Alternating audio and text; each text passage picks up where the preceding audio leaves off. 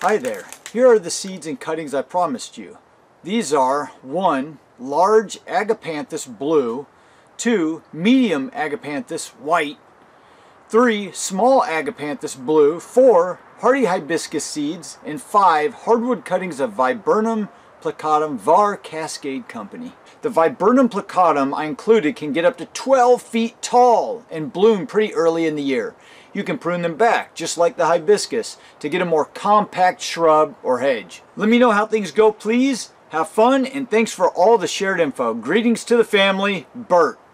Man, Bert, I'm excited. Bert, it looks like everything arrived in great condition, and as you know, I am really excited about these viburnum cuttings. They're in perfect condition. They're already starting to callus up around the base because they've been in a warm environment as they went through the mail. And I think all I'm gonna do is take these inside now, rinse them off real good with water, and just make sure they're nice and moist. And we're gonna get these things stuck in some soil.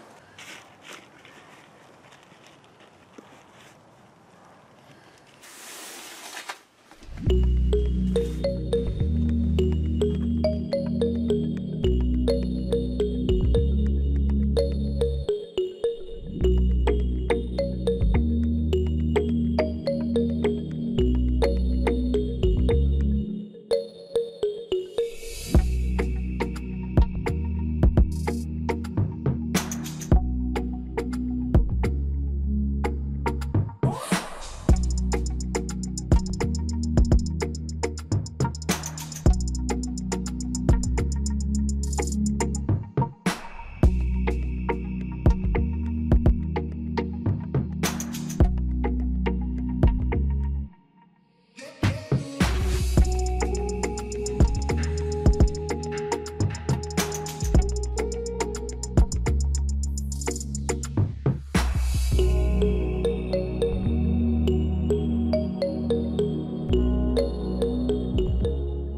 so there they are. Today is December 9th, and I'm really excited to see if these guys are gonna root. I think they will. We've already got callus down below, and it's a nice warm environment now. We're not gonna cover them, just like we never cover hardwood cuttings. I'm gonna keep these moist though. I've got them buried down at least halfway in the bark there. I'll keep this real moist, and occasionally if I have to, spray with a spray bottle. But look at those little puppies. I'll come back when something's happened. All right, today is January 12th, and it's just a couple days past one month. Look at all those beautiful cuttings. Man, I never get tired of looking at that. Check this out. We've got a little bloom already on this guy here, and we've got blooms down in here. Now this is double file viburnum, one of my all-time favorite landscape plants. It's a deciduous shrub, so it loses its leaves in the winter, but in the spring, early on, it blooms in these beautiful layers of white flowers all the way out to the edges of the branches and that's why they call them double file viburnum I believe they've got the, the leaves on every branch and then the blooms just above it and it just makes a spectacular show but look at the success we got. In a second here, I'm going to try and pull some of these out. I might just, I might turn them upside down like I've done for you before and just show you the roots around the outside of the container. But I am just amazed. I'm impressed. These cuttings came all the way from Belgium. Thank you again, Bert. But check them out. I know you're going to be excited to see this. They all rooted. Every single one of them has got roots, as far as I can tell anyway. Yep, even that guy. Little growth, little branches coming on, and they're all growing healthy. All right, so I've tried to arrange this so that we can show you this in good lighting. I had to get inside this tent, but I'm to take this like I've done before. I mean, look at that, guys. Look at that. How can you not love that? Hardwood cutting from Belgium, and they just root like crazy. All right, let's go ahead and try flipping these upside down. Oh, and I should show you this real quick first we've got roots. You can see them all the way out to the bottom there. You see that? I'm dripping, dripping all over the place. We've got roots out to the bottom. I'll show you another one here. Look at that. Nice roots. Can you see that? I'm not sure if you can. We'll see. Let's pull these guys out of the pots and see what we've got.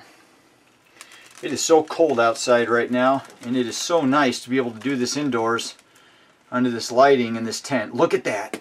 Look at that. We've got roots everywhere. Check that out, guys. Look at that. Roots all over that plant. Give myself a little bit of it. There we go. You see all that? All of these cuttings are rooted. Let's get this guy back in here. Get him nice and safe and sound. There we go. Let's check out the other one. Now these were thicker cuttings here. So generally I find that the thicker cuttings produce heavier, thicker roots.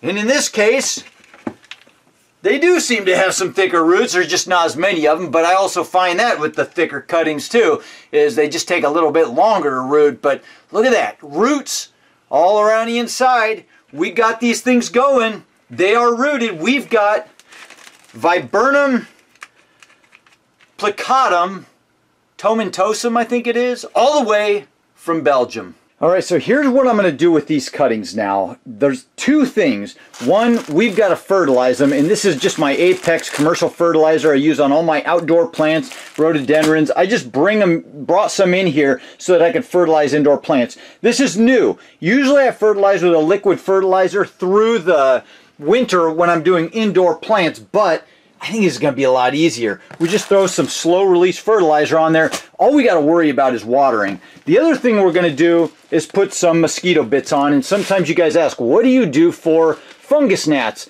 That's what I do. Now, does this stuff completely eradicate fungus gnats? No. I still occasionally get, in fact, you can see one flying around here now, I still occasionally get a few fungus gnats throughout there, but this stuff keeps them really well at bay, and I don't have to worry about it so much. The other thing I do is I'll hang a yellow sticky trap occasionally up in a corner somewhere, and that kind of helps keep things under control. So, I'm going to put a little bit of this stuff in each pot. We're going to put a little bit of this in each of these, and we'll water them in and they'll be good to go.